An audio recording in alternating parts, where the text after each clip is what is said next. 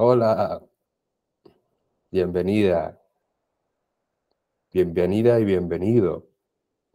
Aunque solemos ser, soléis ser mujeres en este tipo de, de, webinar y demás eventos que nosotros eh, llevamos a cabo, pero también he visto algún caballero por ahí, entonces me permitiréis que hable en femenino, teniendo en cuenta que entiendo que que la mayoría que voy viendo por aquí soy, soy mujeres. Un placer, un grandísimo placer recibiros. Esta es, la primera webinar que hacemos nosotros por nuestra cuenta. Siempre, siempre hemos hecho otra webinar pues, organizada por, otra, por otras entidades, pero ninguna la habíamos llevado a cabo nosotros y, es para nosotros un honor que, que estéis aquí con nosotros porque, bueno, llevamos, llevamos 10 años y como celebración a estos 10 años es una de las causas por las que queremos estar más cerca todavía de, las personas. Eh, vamos a esperar un poquito antes de comenzar por más personas que puedan ir incluyéndose. No me he presentado, yo soy Pepe Olmedo, soy psicólogo sanitario, soy músico y musicoterapeuta. Estoy en Granada, en una ciudad maravillosa. Eh, yo digo la ciudad más bonita del mundo, pero ¿qué voy a decir yo? Pero es una ciudad muy bonita. Quien no la conozca, le invito a que la conozca. Y sé que, sé que hay muchas personas mm, de diferentes lugares del mundo en, esta webinar. Entonces, bueno, con más motivo, eh, daros la bienvenida. Sé que hay por encima, hemos, hemos, estado comprobando cómo esta webinar ha llegado a personas de Argentina, ha llegado a personas de Chile, de Colombia, de Ecuador, eh, personas de México, de Perú, de Estados Unidos y, por supuesto, personas de España. Eh, para nosotros eh, es un, gran honor de que, hayáis recibido esta invitación y, que sepáis que es la primera ¿no? que queremos ir haciendo de, diferentes temáticas, no solo hablando de, la música, sino también hablando de, de otras cuestiones que vayamos viendo interesantes. Eh, como decían, yo soy, yo soy psicólogo, eh, aquí está conmigo eh, parte de, de, mi equipo, somos, somos un equipo de tres personas eh, por aquí, por el chat, podréis ir hablando también con María, María es mi hermana, y Aarón, Aarón Rodríguez, compañero mío. Eh, ellos, la verdad que los tres somos los que estamos al pie del cañón con música para despertar. Eh, imagino que muchas de vosotras sabréis quiénes somos, qué hacemos. probablemente otras personas no, no hayáis oído hablar de nosotros y sea la primera vez. Música para despertar nace hace 10 años prácticamente, cumplimos en, este año el décimo aniversario, donde, pues bueno, yo, yo cuando he tenido la suerte de, muy pequeño estar en contacto con personas con Alzheimer, eh, porque mi madre ha sido directora de centros de mayores y a mí me ha llevado a, pues bueno, a los diferentes centros donde ella trabajaba y yo desde muy pequeño he estado en residencia, en centros de mayores. Eh, la verdad que creo que gran parte de mi vida la he pasado en, centros de este tipo. Por tanto, probablemente por eso me, me gusta tanto estar con, con, personas con Alzheimer, con otras demencias. Y, y, ahí nació todo. Todo nace desde que yo soy pequeño, desde que la música, por supuesto, es, es una parte fundamental de mi vida que os voy a contar. Eh, hoy, hoy hablaremos de aspectos muy importantes detrás de la música. Para mí la música siempre ha sido algo fundamental en mi vida, pero desde que veo el, el efecto y el poder que tiene la música con personas con Alzheimer, personas con Parkinson, personas con, con alguna otra demencia, mm, la verdad que yo ahora la música la veo de una manera mucho más, pues bueno, mucho más completa y viendo que tiene una cantidad de posibilidades que creo que es importante que las compartamos con los demás. Eh, porque ahí nace música para despertar. Eh, cuando yo estudio psicología, después me voy a una residencia donde trabajaba mi madre y, y allí estuve de voluntario muchos años. Y en ese voluntariado eh, fue cuando empezamos a, a, a, experimentar con la música.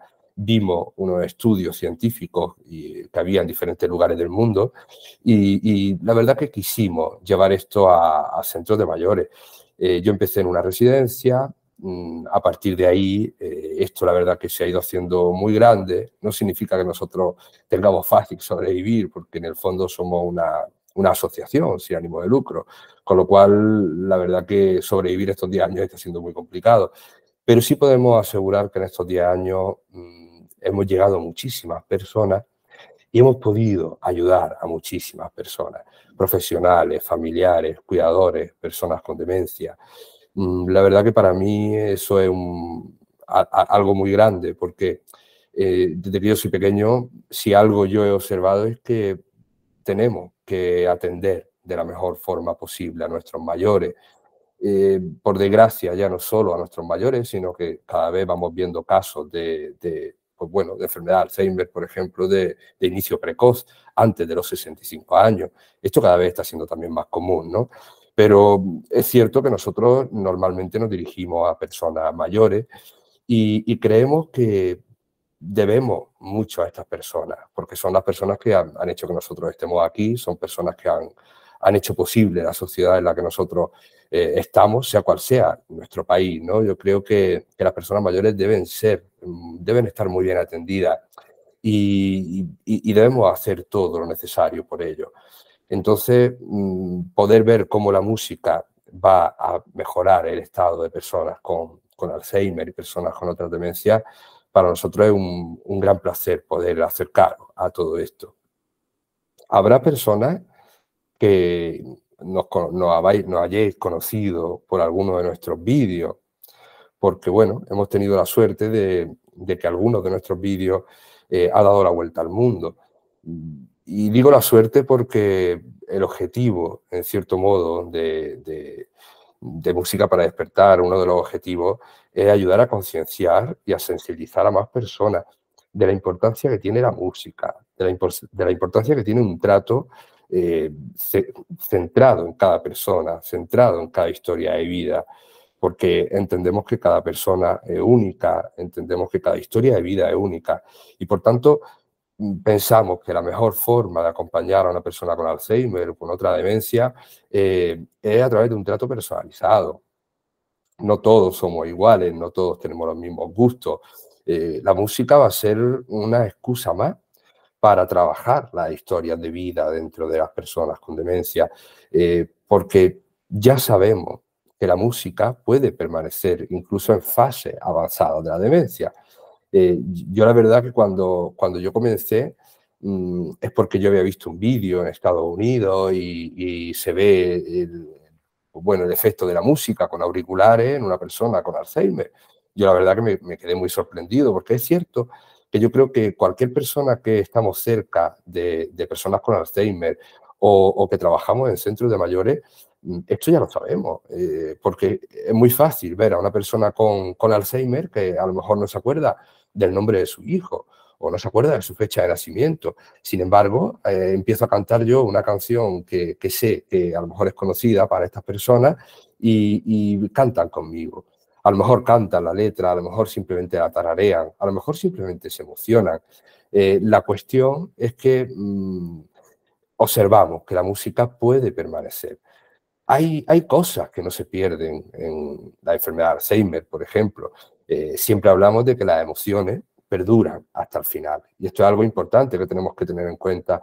Eh, es cierto que hay veces que las emociones predominantes son, pueden ser positivas y es cierto que hay veces que las emociones predominantes pueden ser negativas. Ahí es donde entra también la música, porque ya veréis que la música puede tener un, efecto positivo, eh, pues bueno, hacia personas que a lo mejor estén pasando por momentos de aislamiento, eh, pero también va a ser muy positivo hacia personas que a lo mejor estén pasando por momentos de agitación, que es algo muy común en esta enfermedad. Es muy fácil ver a ciertas personas que no paran de moverse, que no paran de hacer cosas. Eh, hay una conducta muy, muy habitual, que es la de ambulación errática. Son personas que, caminan sin parar, Y si tú les preguntas que a dónde van, mm, no saben a dónde van, no tienen un rumbo fijo, no saben en cierto modo a dónde se dirigen. Esto se denomina deambulación errática y, esto lo encontramos en, gran cantidad de personas con Alzheimer. Y ya sabemos que la música, si es una música adecuada, si es una música eh, que conecte con la historia de vida de la persona, que tenga relación con su historia de vida, esta música puede hacer que la persona se calme, eh, incluso que la persona se siente. Eh, podemos gestionar de mejor forma eh, momentos relacionados con la agitación. La verdad que son muchos los beneficios que podemos encontrar detrás de la música. Mm, hoy os podré trasladar algunos de estos beneficios. Mm, de todas formas, quiero que también veáis esta webinar como el comienzo de algo más, ¿no? ya sea porque podáis estar más en contacto con nosotros, ya sea porque mm, podáis hacer algún curso con nosotros, eh, porque os interese el resto de webinars que vayamos sacando. Mm, nuestra, nuestra idea es poder compartir todo lo que vamos descubriendo, porque vemos la necesidad de llegar a cuantas más personas sea, sea necesario. Mm, la enfermedad de Alzheimer sabemos que es el tipo de demencia más común. A mí me veréis que hablo mucho de demencia, hablo mucho de Alzheimer. Eh, todo esto lo explicamos en nuestros cursos, como es lógico. Eh, pero la enfermedad de Alzheimer es un tipo, eh, al final es una enfermedad que acaba causando demencia. Mm, el término demencia senil, por ejemplo, es un término que todavía vemos que hay personas que lo usan y es un término que está totalmente desfasado. No podemos ya hablar de demencia senil, teniendo en cuenta que hace referencia a la senilidad, a la última etapa de la vida. Y puede parecer que una persona, por acercarse a esta última etapa de su vida, va a desarrollar una demencia cuando esto no es cierto. Una demencia no va a ocurrir por el hecho de hacernos mayores. Es cierto que eh, la esperanza de vida es una de las cosas que hace que, tengamos más personas con demencia a nuestro alrededor, porque es cierto que la demencia eh, actúa en más personas mayores, pero no por el hecho de ser mayores, quiero, quiero entender, no quiero hacer... Creo que es importante que eso lo tengamos en cuenta. En un envejecimiento normal no ocurre este tipo de cosas. Puede haber ciertos deterioros, por supuesto, acompañados con la edad, pero no, no vamos a desarrollar una demencia por, por hacernos mayores.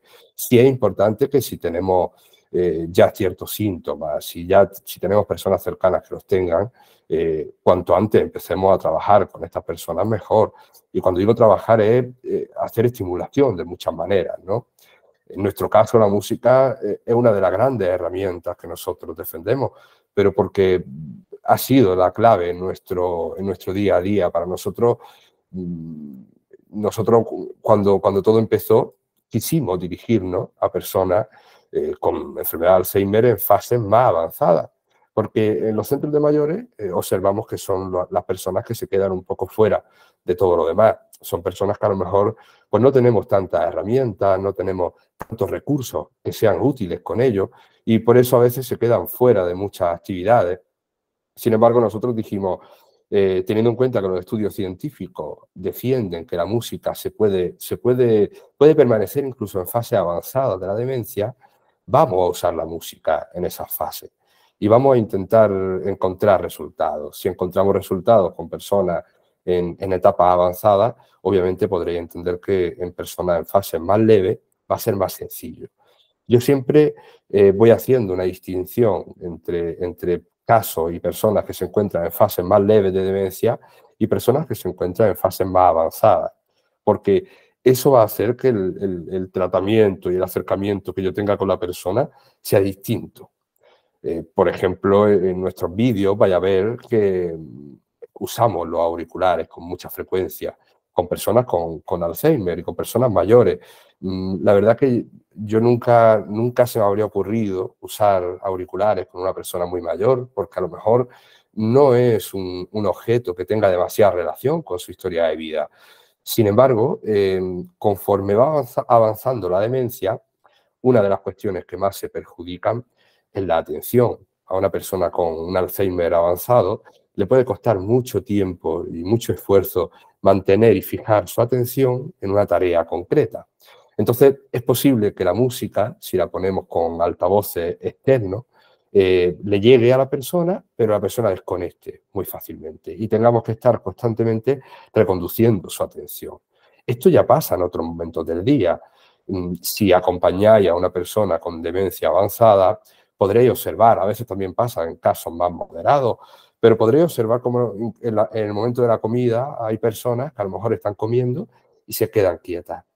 Y tenemos que, en cierto modo, reconducir su, comportamiento. Tenemos que volver a recordar que estábamos comiendo y volver incluso a iniciar el movimiento de, su mano. No digo que le demos de comer con nuestra propia mano. Esto, esto solo lo hacemos ya en fase muy, muy, muy avanzada donde la persona ya no puede eh, coger una cuchara por sí misma.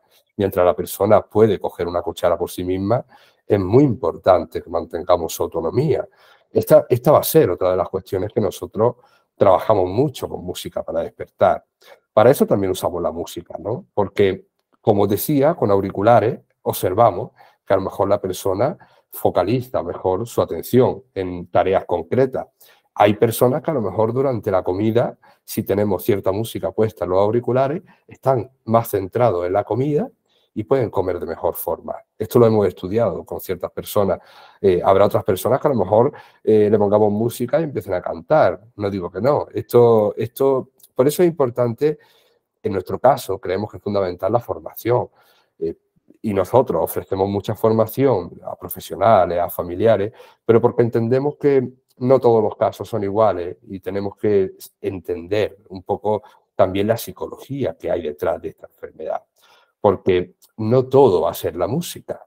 Eh, para nosotros la música podemos decir que eh, es clave, es una de las grandes claves en, todo lo que nosotros hacemos, pero no todo es la música. Para, para seguir con este, con este tema y contaros un poco más, quiero mostraros un vídeo, un vídeo que probablemente eh, ya hayáis visto, es un vídeo que, probablemente os suene. Y quiero que, lo veamos juntos, porque os voy a hacer partícipe de, algunos momentos importantes en este vídeo eh, que consideramos que muestran muy bien eh, el poder que tiene la música. Este vídeo, para aquellas personas que, que, lo hayáis visto y para aquellas personas que a lo mejor no lo hayáis visto, eh, es uno de, los vídeos más famosos que tenemos. Mm, esto fue durante una formación en un centro de mayores en Alicante, en un lugar de España, en la comunidad valenciana, y, nosotros hacemos formación, pues bueno, en centro de mayores. Yo suelo ser yo el que va al centro de mayores, intentamos dar formación a todos los profesionales posibles, intentamos incluso dar formación y talleres informativos para familiares, porque también creemos que los familiares tienen y tenéis un papel fundamental en todo esto. Eh, esté, vuestro, vuestro familiar en un centro de mayoreo, esté en vuestro domicilio. Eh, creemos que la música también va a ser una herramienta brillante en, eso, en esos casos. Y entonces, en una de estas, cuando vamos a esto, a, la residencia, centros de mayores, centros de día, asociaciones de familiares, y hacemos estas formaciones, eh, también nos gusta llevar a cabo sesiones prácticas con personas con demencia. Mm, hacemos un estudio de cada persona, hacemos un estudio de su historia de vida, mm, intentamos contactar con, con la familia, si es que hay familiares, porque hacemos un poco de detectives musicales. Tenemos que descubrir qué música escuchaba eh, esta persona cuando tenía entre 15, 25, 30 años, porque esas son las canciones que mejor se guardan en el cerebro de una persona con demencia. Entonces, se hace indispensable conocer mm, aspectos de su historia de vida, mm, desde su fecha de nacimiento hasta datos importantes como dónde ha vivido esa persona, a qué se ha dedicado. Todo va a ser importante en ese análisis. Hay veces que tenemos personas con familia cerca, hay veces que no, y que nosotros tendremos que ir haciendo de, detective. En este caso, conocimos a Marta, que es la persona que veis en pantalla, Marta, eh, cuando era muy joven, cuando era una niña prácticamente, tuvo que irse a, Cuba. Y en Cuba aprendió danza clásica, aprendió, aprendió a ser bailarina de ballet. Eh, fue una gran bailarina de ballet que después pasó muchos años en Nueva York. Y en Nueva York fue la primera bailarina de diferentes compañías de, de teatro y de diferentes compañías de ballet y de danza clásica, donde interpretaba grandes obras, como por ejemplo El lago de los cisnes nosotros en, este, en esta residencia tuvimos la oportunidad de a Marta eh, poder acercarle de nuevo a, esta, una de estas canciones tan importantes en su historia de vida, como es El lago de los cisnes. Muchos habréis visto este momento, porque este vídeo eh, en 2020 se hizo viral y llegó a más de 170 países, superando las 100 millones de reproducciones y ayudando a concienciar a muchas personas, no solo de lo mucho que todavía tienen que aportarnos las personas con Alzheimer, sino también de el poder que tiene la música y el poder que tiene el arte.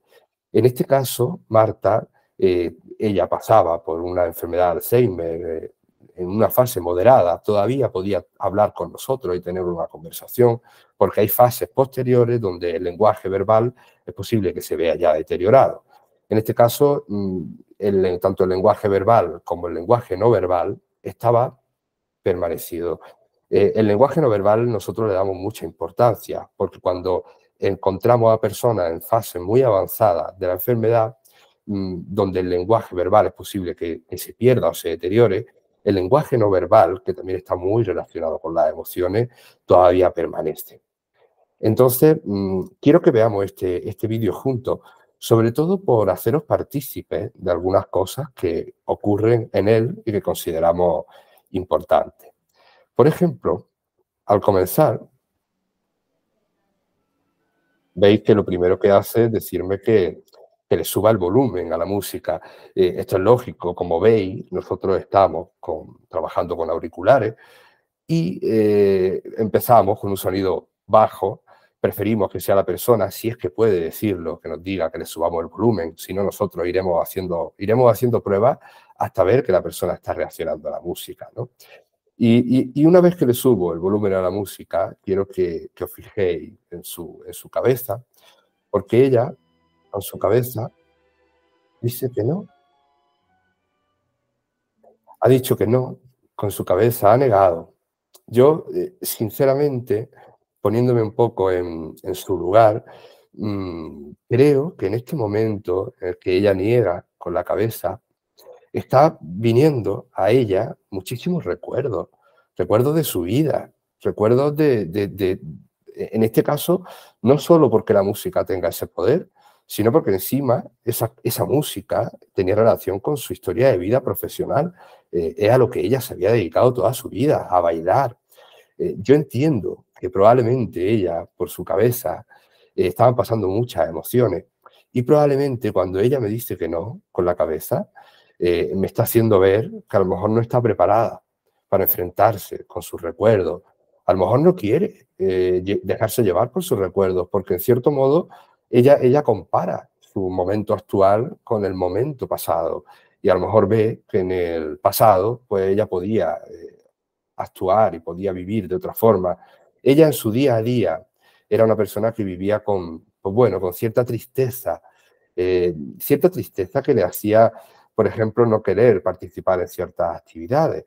Y, gran parte de esa tristeza ella la llevaba a, su, a sus piernas, porque nos decía que para ella no poder mover sus piernas, no poder mover sus pies, era algo eh, muy importante, teniendo en cuenta que ella mm, había sido bailarina, podemos entender que, que, para esto ella era muy importante. Y, y el, ella verse en una silla de ruedas y ver que Soto no, no es la adecuada, pues bueno, esto para ella pudo ser algo muy complicado. En, ese momento en el que ella ha negado con la cabeza y en cierto modo ha dicho que no, eh, fijaros que yo lo que hago es coger su mano, le doy un beso, porque esa era la relación que ella y yo teníamos. Esto no lo hago con todas las personas, y lo hago con personas con quien tengo esta relación. Pero ella ya parece que se deja llevar con la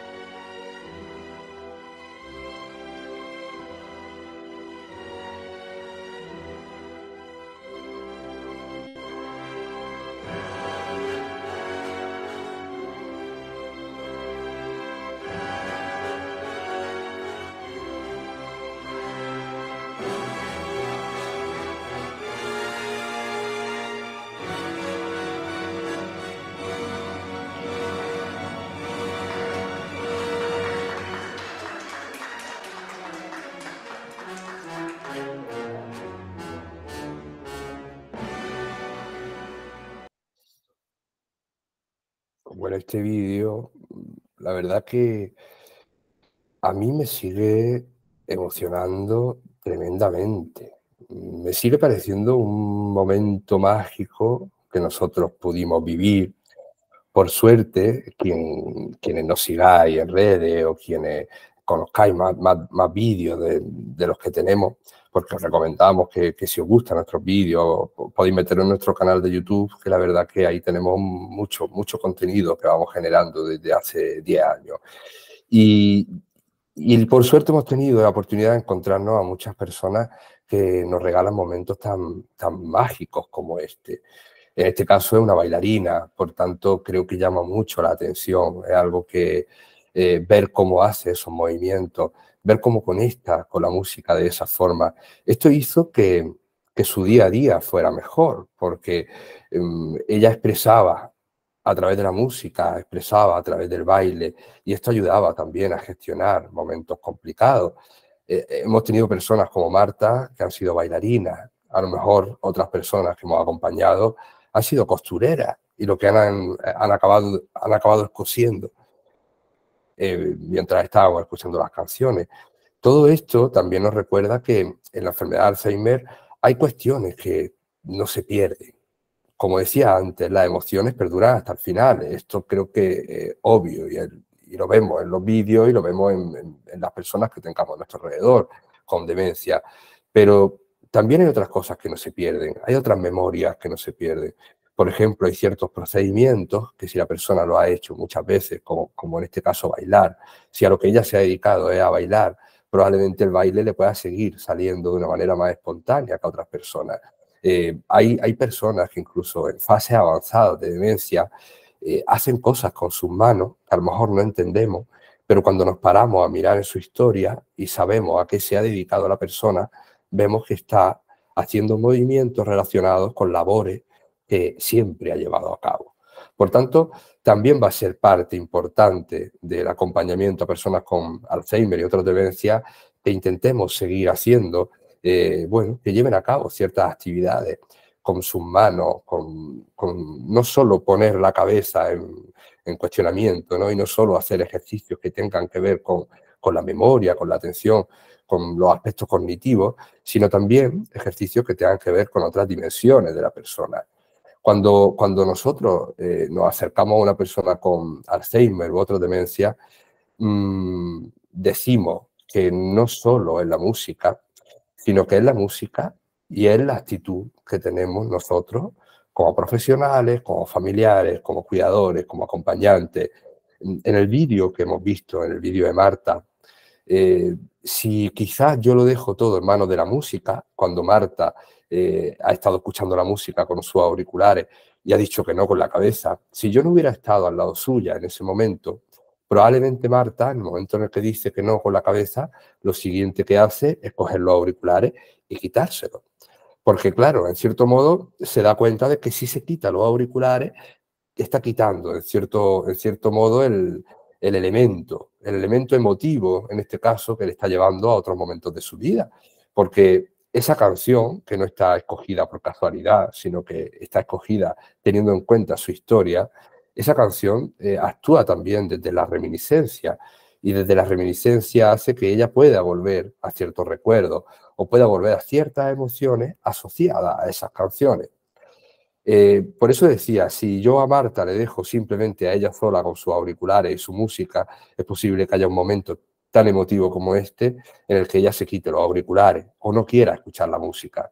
Sin embargo, si nosotros estamos cerca con una actitud adecuada y sabemos mmm, acompañar adecuadamente su, su, estado, su momento, eh, nosotros obviamente usamos herramientas basadas en la psicología, basadas en la musicoterapia.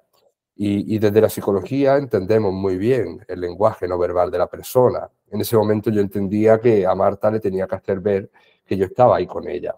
Y de ahí que yo coja su mano y yo le, le, le, haga un contacto directo y un contacto más cercano, porque es una manera no verbal de decirle a Marta que yo estoy ahí con ella y que entonces mmm, no va a tener que encontrarse sola con sus recuerdos, sino que yo voy a acompañarla también en ese, en ese momento.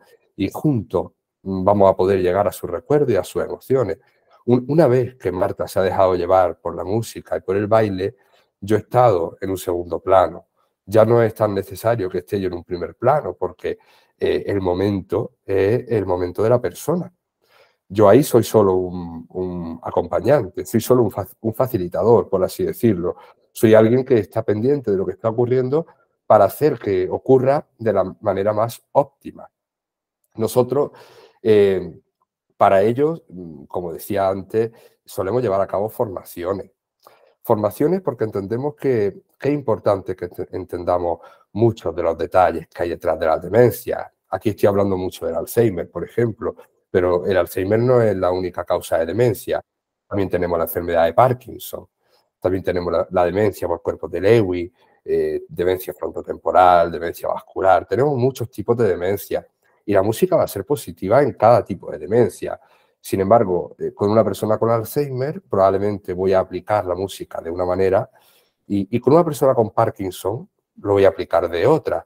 Eh, no, por, no solo porque cada persona sea distinta, sino también porque cada enfermedad actúa de una manera distinta en el cerebro y por tanto los objetivos terapéuticos que a lo mejor yo puedo marcarme para ser distinto en una persona con Alzheimer en una persona con Parkinson.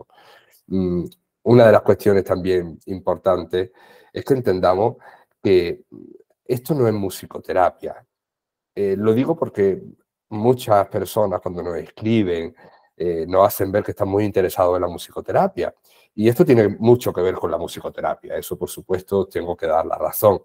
Pero realmente solo podemos llamar musicoterapia a una aplicación eh, terapéutica de la música si está llevada a cabo por un profesional eh, formado en musicoterapia.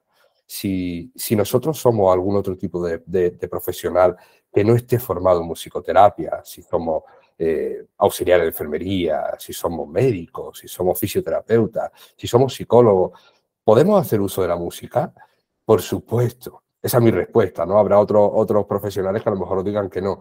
Mi respuesta es que sí, que la música está al alcance de todos. De hecho, eh, cualquiera de nosotros la aplicará y la aplica en su día a día. Yo me pongo mínimamente como ejemplo, pero no soy el mejor ejemplo, porque yo la verdad que soy una persona, soy melómano, soy muy, soy adicto a la música. Yo necesito música, pero la necesito y la busco de forma diaria. Y no solo eso, sino que tengo mis listas de reproducción, tengo mis canciones preparadas para diferentes momentos y para diferentes emociones y diferentes objetivos porque entiendo que la música va a tener objetivos muy distintos en función del momento del día, en función de, las emociones de la persona que la está escuchando. ¿no? Entonces, eh, os decía que no llamemos musicoterapia a todo lo que hacemos relacionado con la música, también por ser fieles a nivel profesional. La musicoterapia solo puede ser aplicada por especialistas en musicoterapia.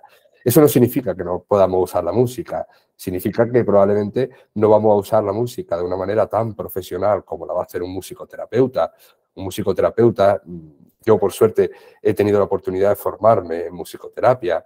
Aquí en, España es un máster que hay que hacer después de, haber llevado a cabo una carrera, por ejemplo en mi caso psicología y después hice, aparte de otros máster, hice el máster en musicoterapia. Y claro, eh, si no hemos hecho estos másteres, si no hemos hecho estos, estudios, podemos mm, hacer uso de la música, pero es conveniente que no le llamemos musicoterapia, porque no estaremos haciendo musicoterapia, no sé si, si, me, explico adecuadamente, ¿no? Pero sí es algo que vemos que es muy recurrente y me parece importante dejarlo, dejarlo claro. Hay otros países, como por ejemplo Argentina, donde musicoterapia directamente es una carrera una carrera de varios años. Aquí en España es un máster que yo, yo hice en, dos años, pero en, Argentina hay una carrera entera para musicoterapia. Por tanto, entendamos ¿no? que no podemos decir que estamos haciendo musicoterapia, pero sí estamos haciendo un uso terapéutico de la música, sí estamos haciendo ciertas sesiones musicales que van a tener un beneficio en las personas que acompañamos. Antes em, hemos, hemos, podido ver los comentarios que nos vais dejando por el chat. os recuerdo que si, si tenéis ciertas preguntas, eh, nosotros ahora responderemos a, a, las preguntas que veamos eh, que podemos ir respondiendo, ¿no? Oportunas para poder ayudar un poquito más en todo este proceso. una de las preguntas que veo eh, que se repite de manera constante eh, en muchos lugares es por qué usamos auriculares. ¿no? He respondido ya en cierto modo a eso al inicio, y, pero quiero responder de una manera un poco más, conociendo más, viendo más detalles de lo que nos vais preguntando. Eh, preguntáis si se puede usar, si se puede poner la música de forma externa. Entiendo con altavoces, con reproductores externos, por supuesto. Y, yo, yo siempre voy a defender que tendríamos que administrar la música de todas las maneras posibles y esté en la fase de la enfermedad que esté la persona. Sin embargo, en una fase más avanzada, como decía antes, por, por, los problemas de atención que puede tener la persona, va a ser conveniente que usemos los auriculares, porque vamos a llegar mejor a la persona y la persona va a responder mejor a la música. Sin embargo, en fases más leves, podemos hacer uso de los auriculares, pero también podemos hacer uso de altavoces externos. Aún así, aunque, aunque pongamos altavoces externos y la persona responda a la música, yo también usaría los auriculares en ciertos momentos y sobre todo si estamos en una fase leve donde todavía podemos hablar mucho más con la persona, podemos hacerle partícipe, eh, podemos mm, hacer que entienda eh, para qué estamos usando esos auriculares, porque poco a poco podemos ir haciendo que la persona se familiarice con ellos. No esperemos a, que, a, que, a llegar a fases más avanzadas donde a lo mejor el lenguaje verbal es más complicado y es más difícil hacerle entender a la persona por qué quiero usar los auriculares, si empezamos en etapas iniciales, eh, la persona cuando llegue a fases más avanzadas ya va a saber para qué son los auriculares, porque también siguen aprendiendo a través de la emoción. Y van a haber eh, emociones positivas que despierta la música que acaben siendo asociadas a los auriculares. Entonces, mi recomendación es que lo hagamos de, muchas formas. Eh, en casos avanzados también a veces usamos los, altavoces. Mm, tampoco penséis que somos muy estrictos con el tema de los auriculares. Nunca vamos a, nunca vamos a forzar a una persona, porque también hemos encontrado personas que no quieren auriculares. Y, incluso personas que, que muestran molestia, a lo mejor por el volumen, a lo mejor porque en sí los auriculares les molestan. Es cierto que son pocas personas de las que solemos atender, la gran mayoría acaba, aceptando de, buena forma los auriculares, pero siempre también tendremos casos de personas que no quieran auriculares. Eh, hay personas que a lo mejor simplemente lo hacemos cantando.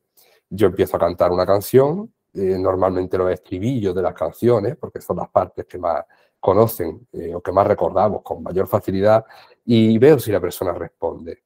Esto también va a ser una prueba muy útil, en lo que es, vayamos descubriendo ciertas canciones, ciertos estribillos y vayamos probando. A la hora de que podamos establecer la lista de reproducción de la persona.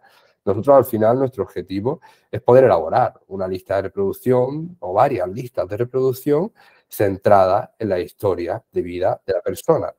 Y a ser posible mm, que vayamos descubriendo qué canciones pueden ser positivas para trabajar diferentes objetivos como, como decía antes, eh, entiendo que, que, esta es mucha información ¿no? que vamos dando y entiendo también que, que bueno, eh, sois conscientes de que hace falta eh, formarse si queremos llevar a cabo todo esto de mejor, de mejor forma. voy a ir leyendo también en el foro, que veo que habéis dejado alguna pregunta más. Por ejemplo, mm, nos preguntáis a la hora de eh, seleccionar las canciones, que si siempre lo hacemos de forma individual. Eh, la verdad es que sí. Sí y no, ¿no? Os tengo que, ser eh, claro. Empezamos siempre de forma individual, pero empezamos siempre de forma individual por la persona que tenemos delante. Básicamente, eh, porque entendemos que cada persona puede tener unos gustos concretos. Es cierto que en personas de cierta edad, personas muy mayores de cierta edad que han tenido acceso a, menos recursos que a lo mejor los que tenemos a día de hoy, eh, las canciones se repiten de una persona a otra. Y va a haber muchas personas que respondan a ciertas canciones. Eh, hay canciones que han dado la vuelta al mundo. Bésame mucho es una canción que, saliendo de México, ha dado la vuelta al mundo. Es la canción más, más versionada de la historia y por tanto Bésame mucho eh, va a ser una de las canciones que pueda ser muy útil con personas con cierta edad y con personas con, demencia. Cielito lindo. eh, otra canción también mexicana eh, que ha dado la vuelta al mundo y que, y que es recordada por muchísimas personas. La cuestión es llegar a esas canciones, a esas canciones que no solo por ser canciones muy conocidas, sino también por ser canciones que tengan relación con la historia de vida de la persona. Mm, a lo mejor eh, aquí en España, por ejemplo, es muy distinta la música que se escucha en unos lugares a la música que se escucha en otros. ¿no? Si yo voy viajando de norte a sur en el país, encontraré música muy distinta, pero igual que vamos a encontrar en otros países, en otras ciudades. Si me voy a Argentina, es obvio que voy a, a, dejarme llevar por el tango y el poder que tiene el tango, que por cierto el tango es muy usado con personas con Parkinson, porque tiene muchos beneficios también, motores eh, que ayudan en el día a día de la persona. Entonces, nosotros efectivamente las listas de reproducción las hacemos de forma individual. Eso no quita que una vez que hemos trabajado de forma individual con cada persona, hagamos pareja, hagamos grupos y podamos trabajar eh, con un grupo de personas que tienen unos gustos similares. Y esto va a ser útil también, porque vamos a poder trabajar las relaciones sociales, por supuesto. Eh, entonces, son, son muchos los detalles que vamos, que vamos encontrando y son muchas las cuestiones que entiendo que tenemos que tener en cuenta, pero la verdad que yo creo que es tanto lo que todavía podemos aportar a personas con, con demencia y, es tanto lo que ellos todavía pueden aportarnos a nosotros que si podemos hacerles vivir mejor eh, hasta el final de sus vidas, va a ser una gran ayuda. Nosotros también, por ejemplo, acompañamos eh, a, personas que están al final de la vida, que están llegando al momento final de sus vidas, en procesos finales de vida, también les acompañamos con música. Y hemos vivido experiencias impresionantes que han hecho que todo nuestro concepto de, de la música y de las personas sea muy distinto. Yo, recomiendo que eh, no solo de las personas con demencia que tengáis alrededor, sino de cualquier persona querida que tengáis cerca, y, por supuesto empezando por vosotras mismas, que vayáis, haciendo vuestras propias listas de reproducción. Es posible que ahora mismo no, lo necesitéis, es posible que, que, ya las tengáis hechas, eh, eh, hay muchas opciones, ¿no? Pero mm, no hablamos solo de personas con Alzheimer o personas con demencia, también hablamos de que hay muchos estudios científicos que hablan de personas que han tenido un accidente de tráfico, personas jóvenes y a lo mejor se han dado un golpe en la cabeza, un golpe importante. Y esto ha hecho tener ciertas dificultades, o han hecho perder ciertas capacidades. Y la música también ha sido útil en este tipo de, casos, en este tipo de personas. La música eh, yo creo que es útil y es práctica para cualquier persona. Por eso creo que es una oportunidad de trabajar con nuestros seres queridos cercanos las listas de reproducción de su vida. Quiero compartir eh, algunos momentos más de los que hemos vivido con música para despertar por haceros partícipe. En este caso, con una de las canciones también más importantes eh, que hemos podido encontrar, eh, Toda la vida del gran Antonio Machín.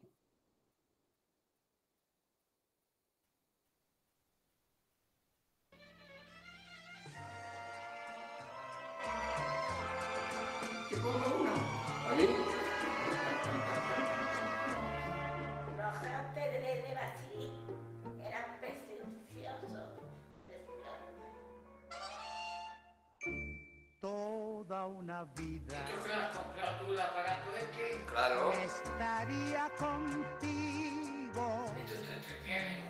¿Verdad que sí? No importa en qué forma, ni dónde, ni cómo, pero junto a ti. Toda una vida te estaría mimando te estaría cuidando como cuido mi vida, que la vivo por ti. No me cansaría de decirte siempre, de siempre, siempre. Eres mi vida. Ansiedad, angustia, desesperación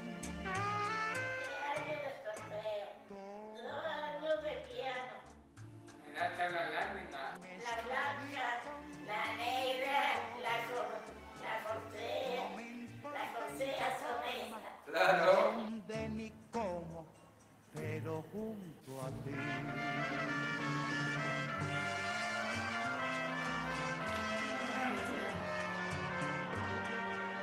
De amor, de amor, de amor, no es de plato, de nada, de amor. Y todo lo demás es lo que nos falta.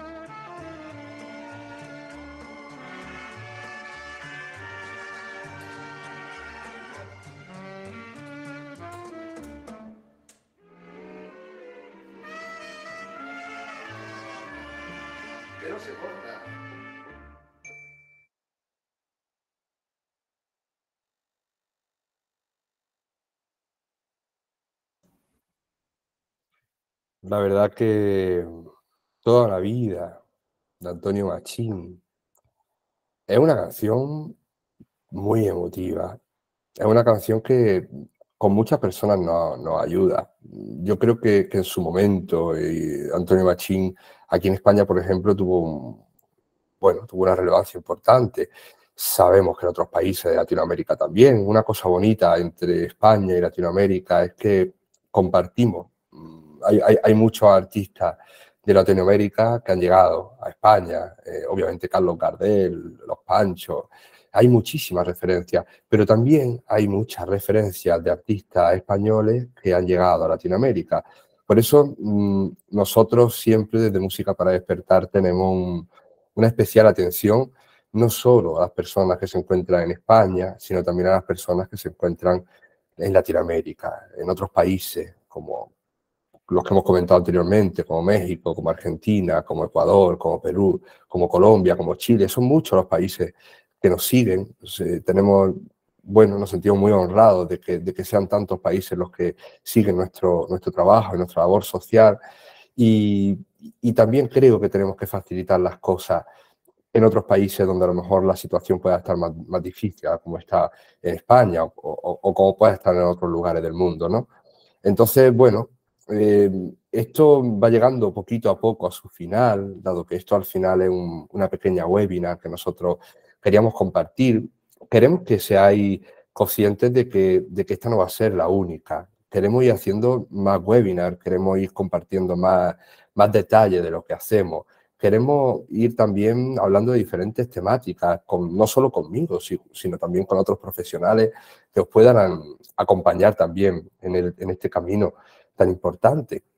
Eh, asimismo, mm, tengo la gran alegría de poder comunicaros que por haber estado eh, en esta webinar, las personas que habéis aguantado hasta el final, escuchándome y, escuchando un poquito las vivencias que hay detrás de Música para Despertar, eh, como entendemos, eh, os interesa esta temática, como entendemos, eh, puede ser importante para vosotros, eh, vamos a presentaros un descuento muy importante en nuestra formación.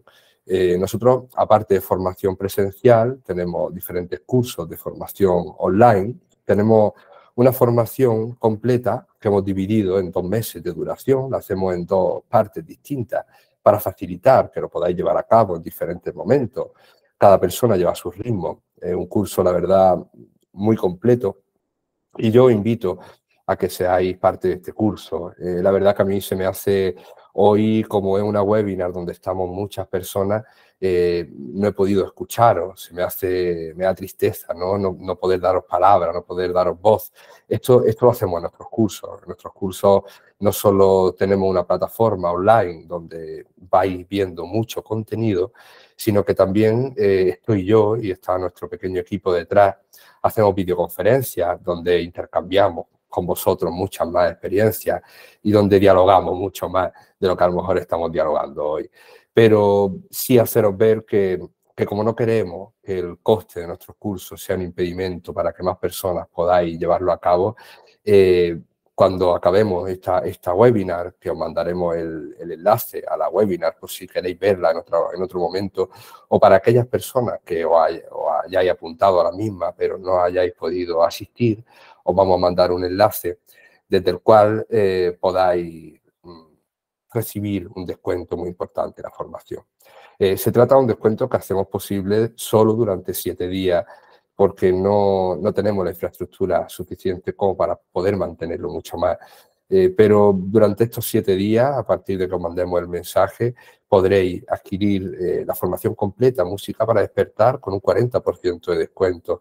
La verdad que pensamos que es un descuento bastante considerable. Este descuento será solo aplicable al curso tutorizado, si, si entráis en nuestra página web, que yo queráis hacer el curso con nosotros o no, os invito, obviamente, a que visitéis nuestra web, porque creo que podréis encontrar mucho contenido. Es una página web totalmente nueva. Este año hemos renovado nuestra imagen, hemos renovado todo, lo relacionado con nosotros.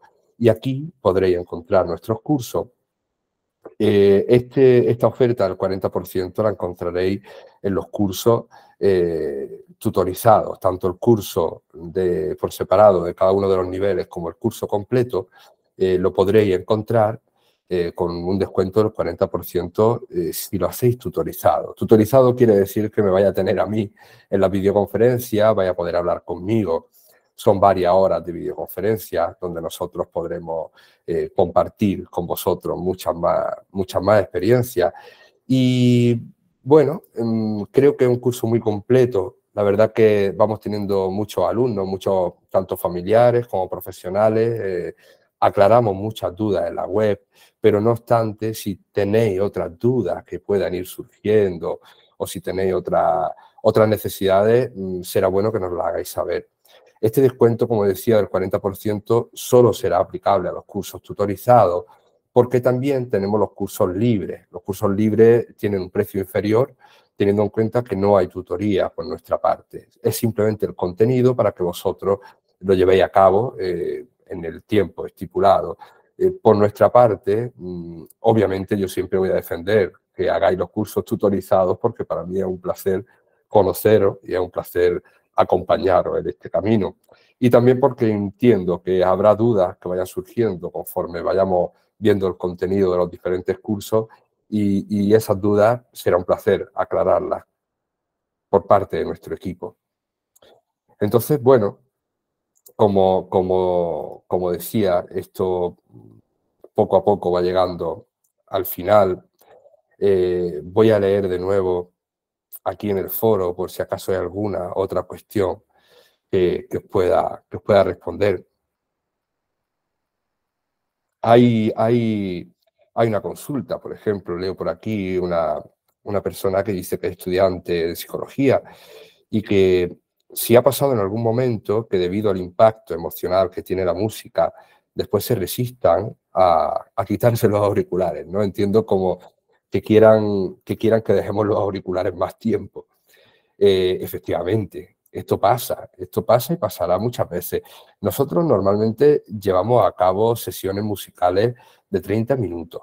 Hay veces que con algunas personas en estados más leves hacemos sesiones más largas. Y, hay veces que con personas en estado más avanzado hacemos incluso sesiones más cortas, porque, porque se ve que puede ser positivo hacer sesiones más cortas en casos más avanzados.